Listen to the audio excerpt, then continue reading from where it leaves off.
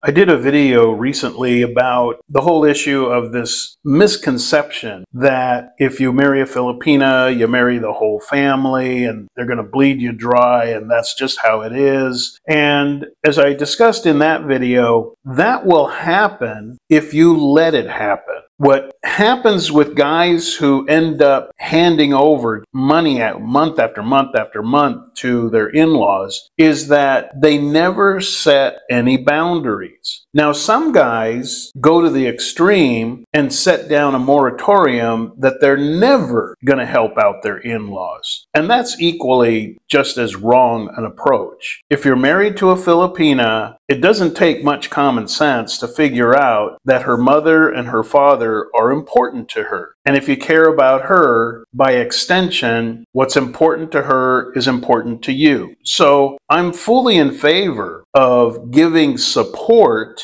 not full support, but some support as she would give if she were still a single woman. Actually, we give a bit more than that. But what I am dead set against is the idea that I'm going to be some kind of blank check and carte blanche, I'm expected to pay for anything and everything that comes up in their life along with their whims. That's just not going to happen. And having set down those boundaries, my wife and I have a very good, healthy relationship with her parents. The key being to set boundaries and say no when it's necessary. For some guys, that's too much work. And so, like I said, they just simply say no all the time or they say yes all the time. Either one of those approaches is imbalanced. Today, I want to talk about that very exact same principle and how it applies to your marriage or even your girlfriend relationship with a Filipina. And I often refer to Filipinas because this is a Philippines channel about expats going to the Philippines, but really this applies in your relationships with women anywhere in the world. Now, every once in a while, I'll sit down with an expat and we'll be having coffee or lunch, whatever, and we'll get on the subject of how everything just went south in our previous marriage in the West. And with hindsight, we can look back on it and say, yeah, I should have done this, should have done that, should have seen this coming, whatever the situation is. And in some of these cases, guys can tell me my biggest mistake and why I ended up divorced in my last marriage in the West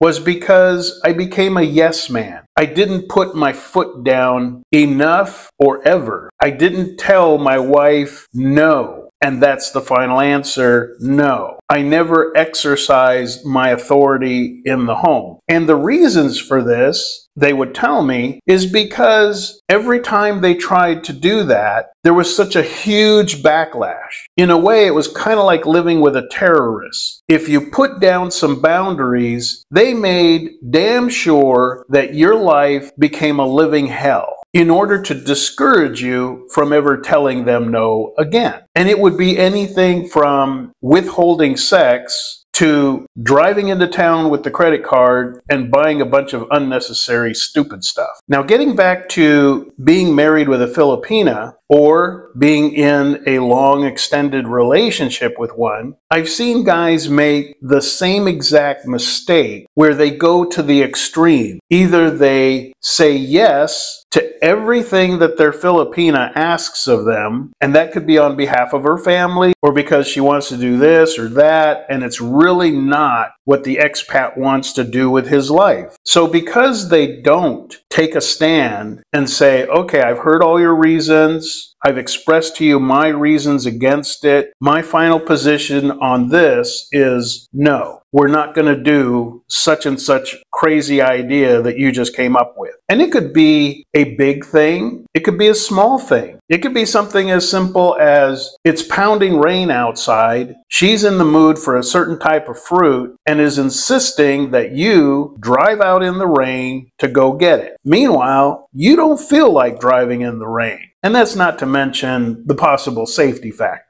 You're going to respond either by jumping on your motorbike and driving into the rain when you don't want to do that, Or you're going to tell her, look, I will get you some fruit, but I'm going to wait until this rain stops. And since that's out of my control, I'm not leaving maybe for another hour, three hours, or it could be tomorrow morning. And that's all there is to it. So you're not saying you're not going to get her the fruit. You're simply saying, I have a better way of handling this, and we're going to do it my way. On the other end of the spectrum, you have guys who simply say no to everything. She has monthly needs for shampoo and feminine napkins and replacing her bra and her panties, and she has all kinds of different expenses. And if a man's position is, I'm not giving you any money, if you need something, let me know, and if I feel like it, I'll buy it. And to me, that's making the same mistake on the extreme end of just simply always saying no. And it's not very compassionate, it's not very considerate. And to top it off, it's a very simple thing to solve. You give her one or two hundred dollars a month and tell her, do whatever you want with this. You don't need to ask me every little time you need something. Here's a hundred, two hundred dollars a month. If you want to save it, save it. You want to send load to your sister, go ahead. You want to buy some new bra and panties or whatever it is you need, knock yourself out. Go ahead. Do it out of this portion of the budget that you will control. And problem solved. She doesn't have to keep asking you for money, and all her needs are getting met. The answer is in the middle. And like I said, that takes just a little bit of brain power, and it's well worth it to have a peaceful, equal understanding between you and the Filipina in your life. Now, there will be times when you tell her no, and she's just not gonna like it. You need to stand firm. Let her have her quiet time. Let her have 20 minutes of tampo time to digest it mentally. But if you have made a sound decision because it's the best thing to do, either financially or safety wise or efficiency wise, if you know you've made a good decision, stick to it when you tell her no. Now, not only does it help your household to run smoother, but there's another reason. Most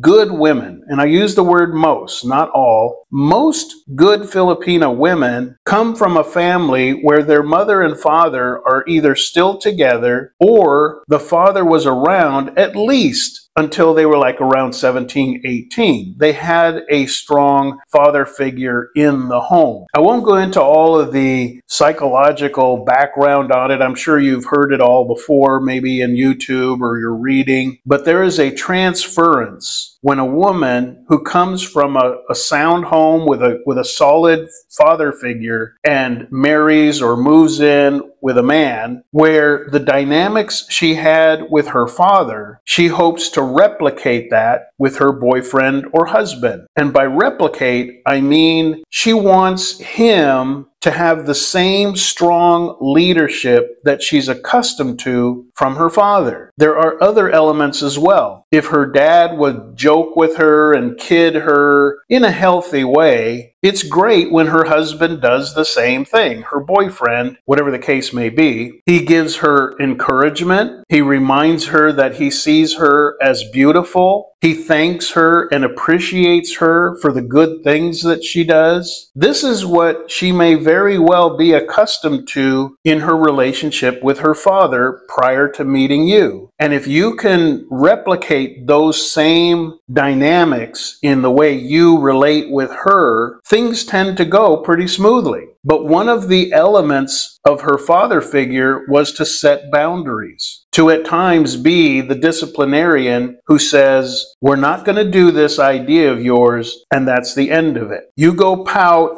in your room, do whatever you got to do, but this is my decision. It's final. I've heard both sides. This is how it goes down. You learn to deal with it. And you will find that after she gets over her little temper tantrum and realizes you are a rock, you're not going to get emotionally worked up. You're not going to be manipulated to change your mind. She will come back to you in a very appreciative manner. But guys who always say yes never see that part. Just as your in laws will respect you more if you tell them no every once in a while, the same principle applies with your wife or girlfriend. Every once in a while, not capriciously, not randomly, not to be mean or anything, but every once in a while, it's a necessity that you set boundaries and say no. So the answer is not the simple one that foolish men take, where they always say no or they always say yes. You have to put your brain in gear, actually listen to what she's saying, examine the situation circumspectly, and then make a sound decision. And once you've made that decision, stick to it. You will find that she takes comfort in knowing that you can be this rock who is looking out for her best interests.